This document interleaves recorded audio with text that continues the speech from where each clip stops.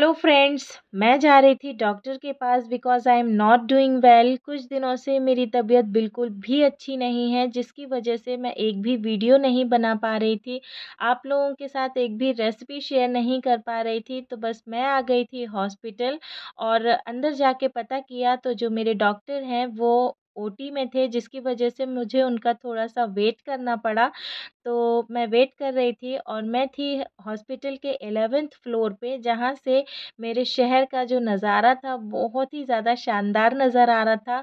और आप देख सकते हैं यहाँ से मेरा जो शहर है वो कितना ज़्यादा खूबसूरत नज़र आ रहा है।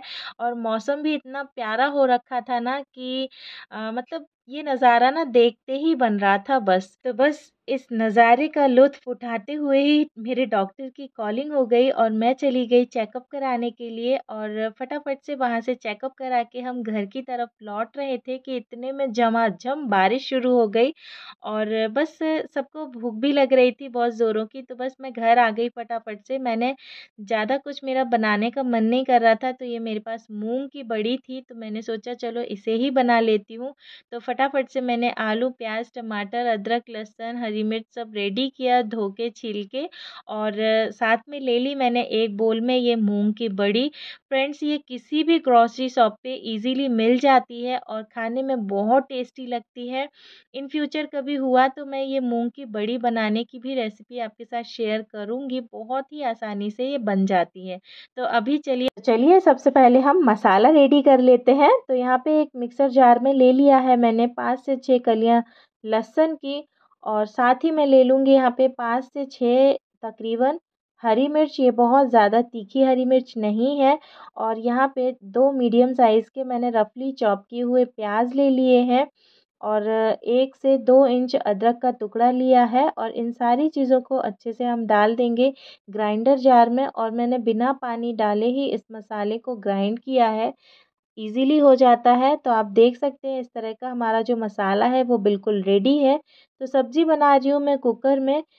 तो क्योंकि मेरी ना बहुत ज़्यादा हिम्मत नहीं है कि पहले मैं सारी जो मसाले वगैरह हैं उनको कढ़ाई में फ्राई करूँ, दैन कुकर में ट्रांसफ़र करूँ तो मैं डायरेक्टली कुकर में ही बना रही हूँ। तो यहाँ पे मैंने एक बड़ा चम्मच कुकर में तेल ले लिया है और इसमें मैं अभी जो हमारी मूंग की बड़ी है उसको रोस्ट करूँगी हल्का सा।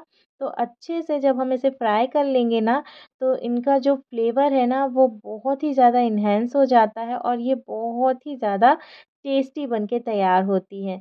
तो इस तरह से मैंने बड़ी को फ्राई कर लिया है हल्का सा और बस अब मैं इनको निकाल लूँगी एक बोल में। और जो हमारी सब्ज़ी है, वो मैं इसी कुकर में बना के रेडी करूँ, करूँगी। और बस यहाँ पे मैंने ऑयल गरम होते ही डाल दिए इसमें कुछ खड़े मसाले और जीरा, इसको अच्छे से चटकाना है और मसालों का फ्लेवर ऑयल में रिलीज़ होने देना है। साथ ही मैं ऐड कर दूँगी आधा चम्मच हींग, इसका बहुत ही ज़्यादा अच्छा फ्लेवर आता है बड़ी की सब्ज़ी में। तो बस हींग डालने के बाद मैं ऐड कर दूँगी यहाँ पे मसाला जो हमने ग्राइंड करके रखा था। तो बस मसाले को अच्छे से हम डाल के इसको चला देंगे और दो मिनट इसको अच्छे से कुक होने देंगे। तो जब तक हमारा मसाला कुक हो रहा है, हम करते हैं दूसरी तैयारी। तो यहाँ पे मैंने दो टमाटर ले लिए हैं मीडियम साइज़ के। तो इनको मैं रफली चॉप कर लेती हूँ और ग्राइंडर जार में इनकी हमें एक प्योरी बनानी है। तो इस तरह से मैं कट करके ले लेती हूँ दोनों टमाटर को और साथ ही में मैं लूँगी यहाँ पे एक आलू बड़े साइज़ का। क्योंकि ना बड़ी के साथ आलू का जो एक कॉम्बिनेशन है ना, बहुत ही ज़्यादा यूनिक कॉम्बिनेशन है, बहुत ही ज़्यादा टेस्टी लगते हैं ये। तो बस टमाटर कट गए हैं, इसको ग्राइंड होने के लिए रखा है, साथ ही मैं एक आलू कट कर रही हूँ और आलू भी हमारा ऑलमोस्ट कट हो चुका है तो मैं बना लेती हूँ एक मसाला। तो यहाँ पे मैंने एक चम्मच कश्मीरी लाल मिर्च ले ली है, साथ ही एक चम्मच धनिया पाउडर ले लिया है और आधा चम्मच हल्दी पाउडर ले लूँगी और आधा चम्मच जो है वो लाल मिर्च पाउडर ले लूँगी क्योंकि जो हमने हरी मिर्च यूज़ की है वो बहुत ज़्यादा तीखी नहीं थी। तो बस इन सारी चीज़ों में थोड़ा सा पानी डाल के इनको अच्छे से मिक्स कर लेंगे हम और इसकी एक हमें इस तरह से जो कंसिस्टेंसी है वो इस तरह से रखनी है। तो ये मसाला बिल्कुल रेडी है और अब चेक कर लेते हैं हमारा जो प्याज का मसाला है उसे। तो वो हल्का सा कुक हो गया है तो इसको हम ऐड कर देंगे इस मसाले में और बस अच्छा सा इन मसालों को हमें भून लेना है दो मिनट के लिए। और आप देख सकते हैं इसकी जो कंसिस्टेंसी है, बहुत ही ज़्यादा थिक है।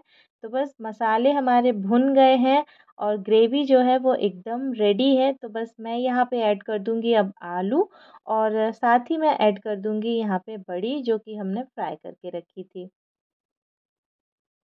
तो बहुत इजी एंड टेस्टी रेसिपी है, ज़रूर से ट्राई कीजिएगा।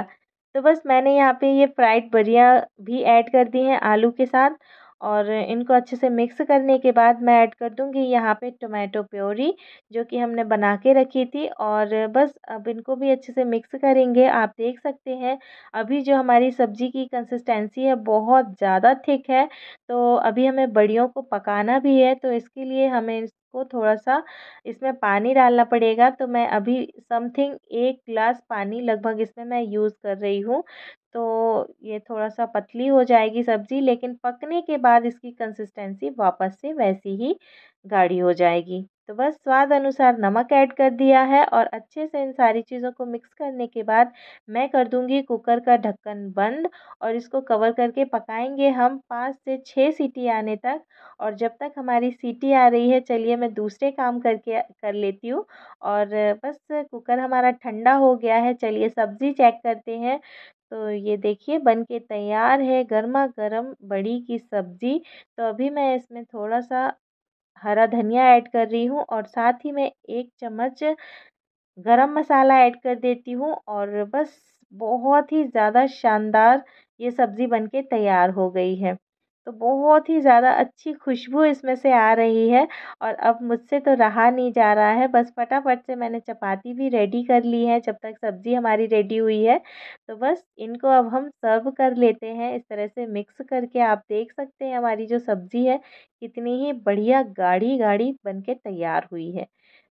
तो, गर्मा गर्म मूंग की बड़ी के साथ रेडी है ये टेस्टी सी प्लेट जिसको खाए बिना मुझसे तो बिल्कुल भी नहीं रहा जा रहा है। बहुत ही अच्छी खुशबू आ रही है। तो ज़रूर से इस रेसिपी को ट्राई कीजिएगा। यकीन मानिएगा दोस्तों, बहुत ही ज़्यादा टेस्टी लगती है। तो अगर आपको मेरा कुकिंग ब्लॉग पसंद आया हो तो प्लीज़ वीडियो को लाइक कर दीजिएगा। चैनल पे नए हैं तो सब्सक्राइब करना मत भूलना। और अगर आपको ये रेसिपी पसंद आए तो अपने फैमिली एंड फ्रेंड्स में ज़रूर से शेयर करना।